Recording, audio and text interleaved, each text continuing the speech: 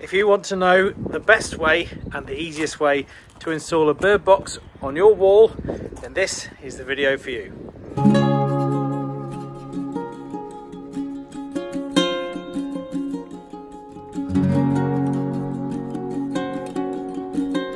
So in this video, we are going to be installing one of our very own Wild Your Garden roost boxes. Obviously for any bird boxes roost boxes bat boxes hedgehog boxes boxes galore check out wildyourgarden.com the online shop. Guys if you're in the uk we can custom make every single one of these which are very well built as you can see all notched.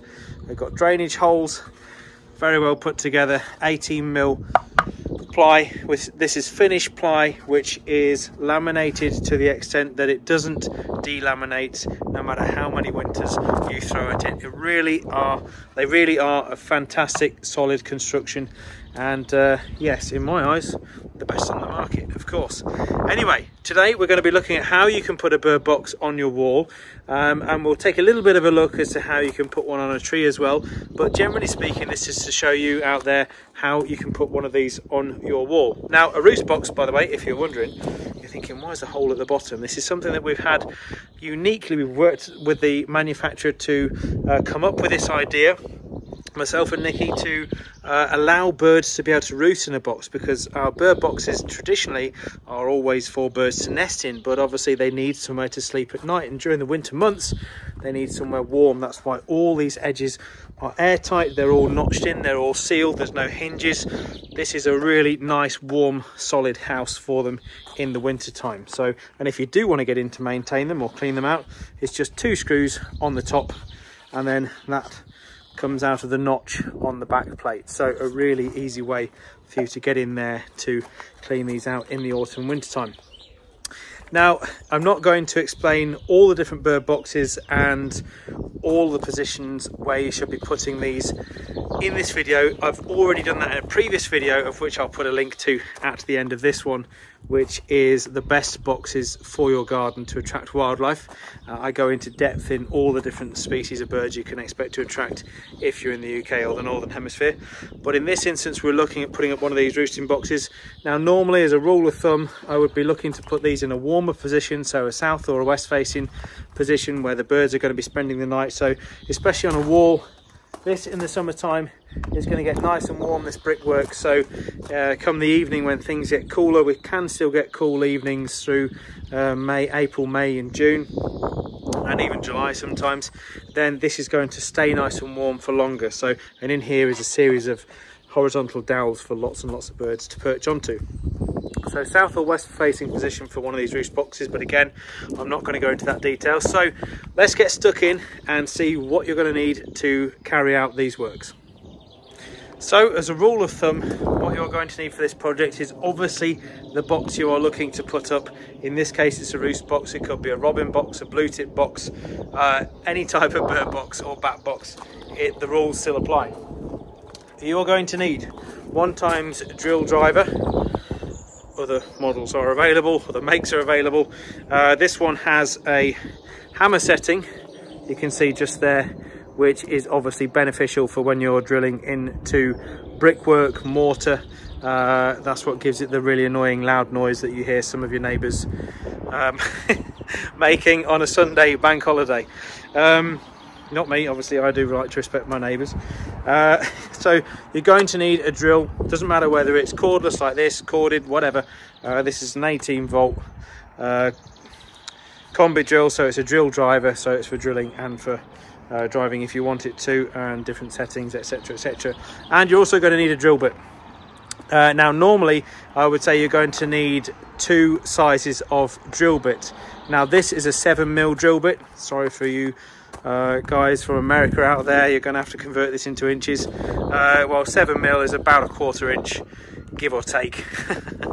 Um, so you're going to need a 7 mil drill bit. That's because we're going to be using these rawl plugs, rawl plugs, R-A-W-L. Interesting fact, when I was growing up as a kid, my dad was a carpenter.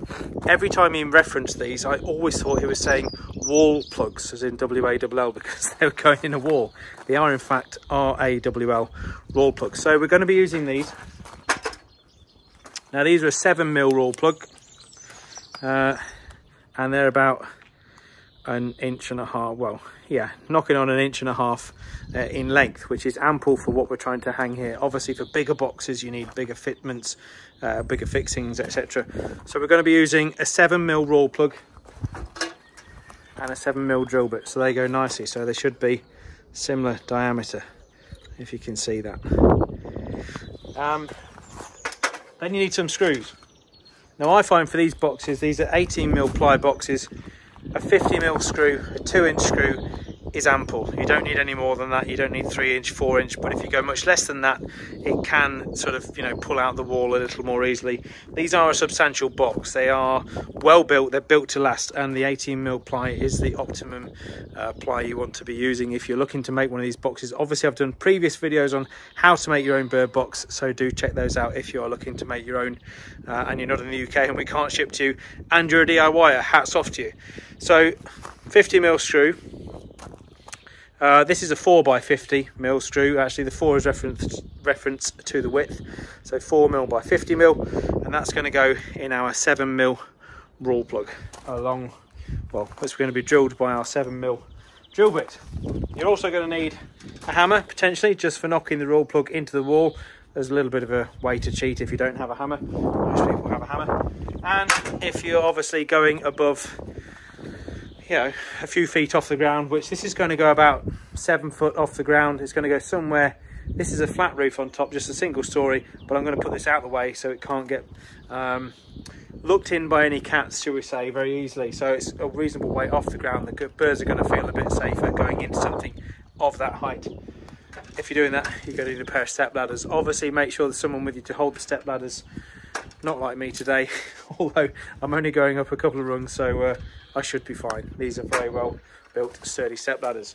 So that's about all you're going to need guys. You might need a pencil as well depending on the method, uh, but I'll come on to that in a moment. So let's get these ladders in position. I'm going to adjust the camera and let's start getting this box up. First tip, if you are working off a ladder, try and get everything on the level platform of the ladder so you don't have to keep going up and down, up and down. It's a bit easier.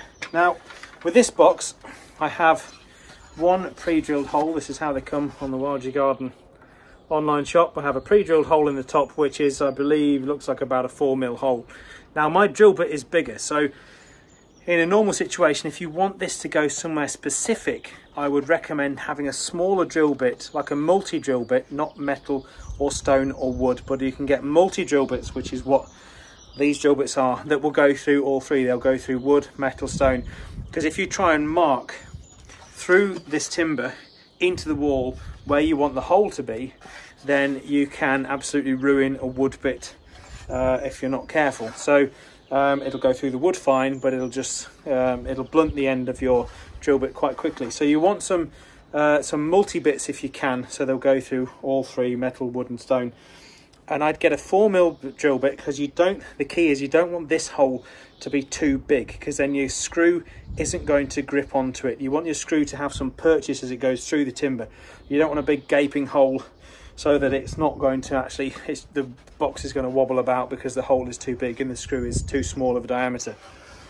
Then you've got to start putting bigger holes in the wall, bigger rawl plugs and bigger screws and it's just, yeah, it becomes a mammoth task as to what it should be. So a 4 mil drill bit, if you want it to go exact on this wall, I'm not too fussed as to exactly where this goes, so a 4 mil drill bit to go through there to mark the wall and then you pull it out and then you will put a 7 mil drill bit in to go into the wall. So I'm going to show you how to do that. But in this instance,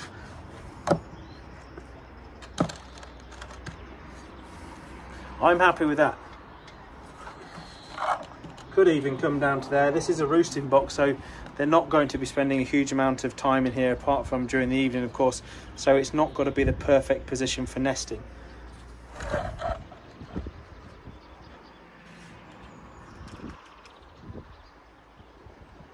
Generally, if you're putting one of these up, I tend to aim for one of the mortar joins rather than the brick face itself, just because if you're going into brick, it can blow the face of the brick off. If you ever do take it down, then you've got a bit of a hole in your brick. So if you're going into mortar and it ever comes out, then all you've got to do is put a bit of mortar in, but it's pretty difficult to patch up a brick face.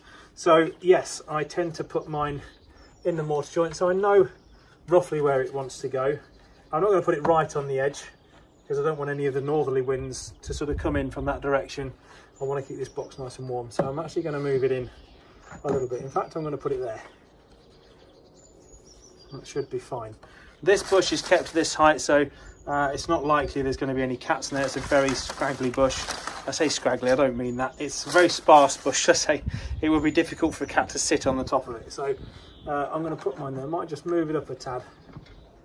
Okay, so when you know where you want to put your box,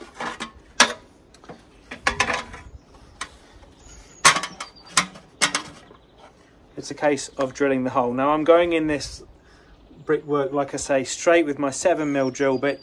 If you've got particularly hard mortar, then you can use a smaller drill bit first, like a 4mm to start you off. Um, and then you're not just forcing the drill bit in. If you've got a really old drill bit, you're going to know about it. You're going to be trying to push and push and push. And again, the hammer setting on one of these does help because it's constantly doing like a pneumatic drill and trying to sort of knock into the wall as well as drill. So it goes in a lot quicker. Um, but you don't have to have the hammer setting, you can just drill into the wall, it'll take a little bit longer. I'll give you an example of what both sound like. So this is on normal drill.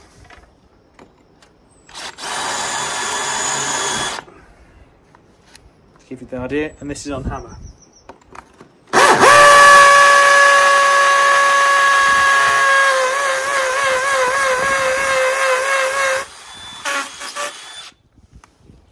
Now, obviously, before you drill any holes in any brickwork, I'd strongly recommend you test to see whether there's any cable. You can easily get electrical detectors from your local DIY store.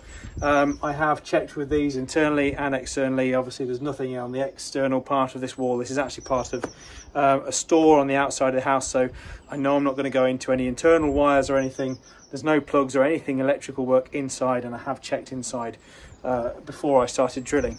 So, and normally with these buildings, they're a double skin, so there's two layers of brickwork, if you like, with a cavity in the middle. So it's unlikely you're going to go through, even if you go through this brickwork into the internal course of bricks inside. Of course, do check with your drill bit and don't go in too far. For this, I've only gone in just a bit more than the actual depth of the rawl plug itself. So two, two and a half inches, absolutely ample. These bricks will be four inch, 100 mil thick, so I know I'm safe. I'm not going to poke through into the cavity behind. Then I can get my rawl plug, pop it in, and sometimes you just need to give it a little knock with a hammer. That's gone perfect, nice and flush. What you don't want is your rawl plug to be sticking out because then it's not going to get the full grip of when you send the screw in. The idea is when your screw goes into the rawl plug and you screw it in, it opens out, pushes out, you know, it sort of opens out the rawl plug inside, which opens into the brick joint. That's what gives it that firm, snug fit. So once you've got your rawl plug in the wall like that, we can now offer the box up. But first, what I would recommend, I'm going to come down for this because I'm actually going to uh, cheat a little bit and I'm going to get my combi drill uh, because I'm feeling lazy and I can't be bothered to take that out and then put a drill driver head in. So with you in a sec. So I've just picked up my combi drill for ease. This is an, um, sorry, not combi drill. This is an impact driver. So this one is great for sending screws in. That's all it does. Send screws in all day long. I've built many a deck, many a fence with these, but you don't need one of these. You can just put the little sort of Phillips head, if you like, into the end of your combi drill if you need to. They have torque settings on them anyway, so you can put it in the end of that drill. You don't need two drills for this. I'll give you a quick tip now. Before you get yourself in a position where you're trying to line the hole up and you're not quite sure, and then you're trying to hold your box and put your screw in, put your screw in the hole before you offer your box up. This is especially handy when you're up the top of a ladder and you're putting some boxes up, like I've got to do tomorrow, where I'm putting up some House Martin box on this property and any higher boxes like house sparrow boxes, starling boxes. It's a lot easier if you've got everything as easy as possible when you're at height. So I'm just going to offer the screw in to the point where the screw is actually just coming out the back. So you can see, screws out the back, that's going to be easier to locate exactly where the wall plug is on the wall. So, time to put my money where my mouth is.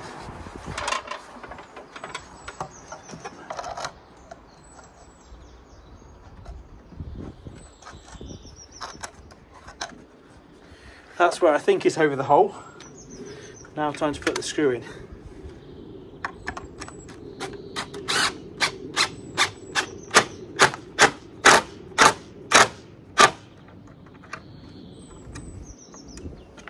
So you can hear that hammer effect on the drill. That's just why these impact drivers are so good because they again use like a hammer action to knock the screw in as it's as this the as the drill is turning the screw and it's knocking it in as well so particularly good if you're going through a very um, strong hardwoods like oak or something so and I've just tightened that up to the point where I'll put an overlay in where the screw is just below the surface of the timber. You don't want to go so far and it starts sending the screw through the timber and then you've not actually got that much purchase in the timber. You just want it so it's just just below flush if that makes sense and that is now nice and solid. You can with these put a second hole in the bottom. Uh, there's not much of a fixing plate on the bottom of this. It doesn't really need it because that is nice and sturdy. It's not going to blow off that's for sure. I'll just give it a couple more turns. And again, you don't want to go so far. You don't want to go so far with the impact driver that you then uh, the, the screw starts spinning. Once the screw starts spinning, you've got no grip, and it's time to pull it out and put a put a bigger rawl plug in or a bigger screw in, indeed, to uh, to have some purchase. So that's that box nicely up. Obviously, if you're wanting to put one in the bottom, you can do. In fact, you know what? I'll show you anyway. Let's go the full hog. So although there's not a great deal on the back plate that comes below the bottom of the box, there's enough for me to get a screw up at an angle. And what I can do here is just move the box. If I actually loosen the top screw just a little bit,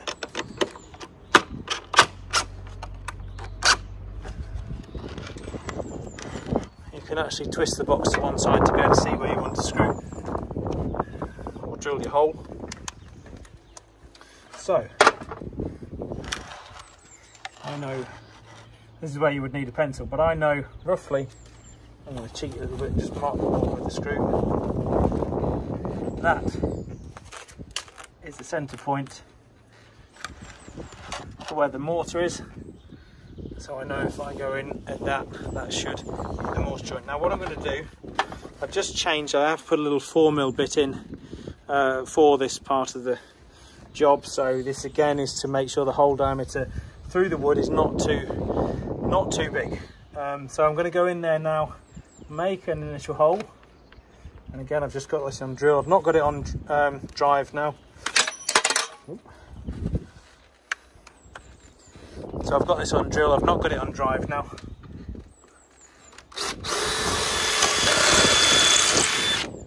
So that just about marks the wall. Don't want to do too much. I should have said before you do that, if you want to get it exactly plumb and level, you can put a little spirit level on the side. You don't have to. The birds aren't going to fall out. So I've got my hole there now. So what I'm going to do now, now the bird box is to one side, swap back to my 7mm drill bit to make the hole big enough for the rawl plug, R-A-W-L. Put it back in hammer and enlarge the hole.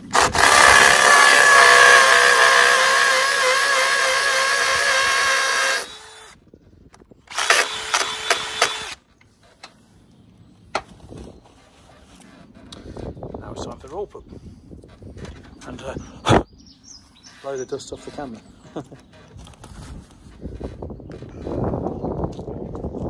So that rawl plug's gone in nice and flush already, don't really need my hammer. Little quick tip, if you don't have a hammer with you and you're up a ladder, you can just get the 7mm drill bit and just gently tap that and that'll just send the rawl plug in if you can't physically push it in and you don't want to go all the way back down to get your hammer. so now when I put that back up, I know I've got a little mark on the wall underneath. I know where my hole is drilled underneath the box and I go back to my impact driver and hopefully with a bit of luck you'll start to feel it bite and it'll start pulling the box back in. and especially on a drill driver you can feel it you know uh, you can hear it start to do that hammer motion that duk, duk, duk.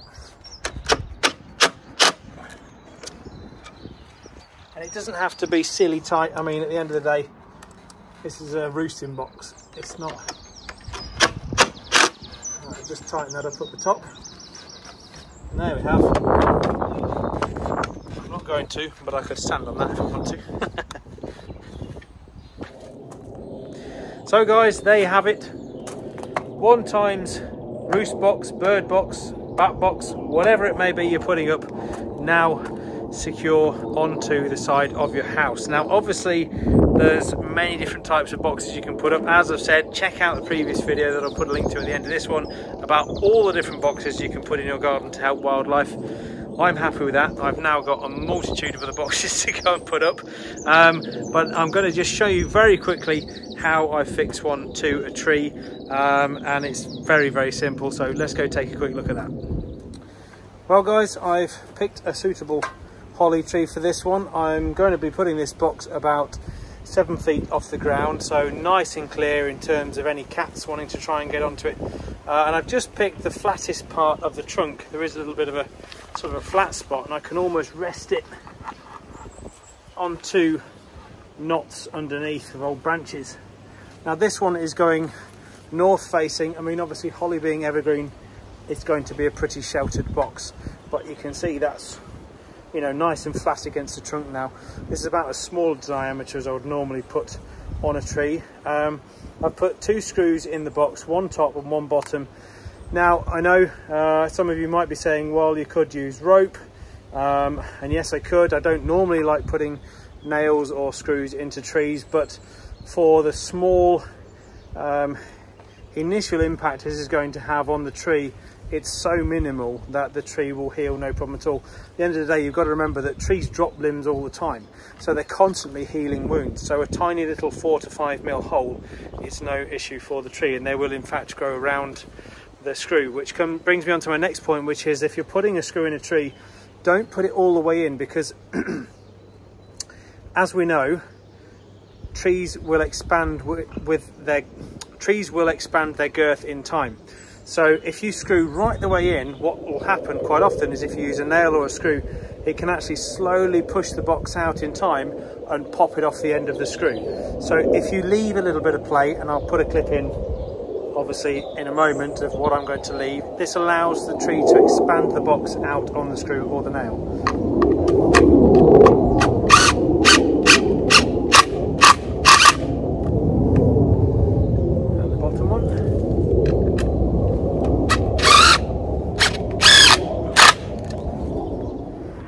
there we have it one times solid bird box fitted to the tree. Now as i say you can use rope if you want to. The trouble with rope is it obviously does it does it can become brittle and fray and the boxes can drop off um, if it if it is exposed to sunlight. Um, plus they can slip as well uh, and also squirrels if they really wanted to which i have known in the past they can chew through the rope um, just for something to do. Hey why not so yes, squirrels can be a problem. So it's best to have a couple of fixings in the top and the bottom if you can, a nail or a screw. I've used a little bit bigger screw here. I've used a 75 mil or three inch screw just to allow the purchase in the tree as well as a little bit sticking out for the, the tree to push the screw out. Sorry, the tree to push the box out onto the screw. So keep checking these on a yearly basis, guys. You might want to just undo the screw a little bit. Um, and then uh, reposition in time. But uh, yes, that's one times blue tit box happily fitted to this tree.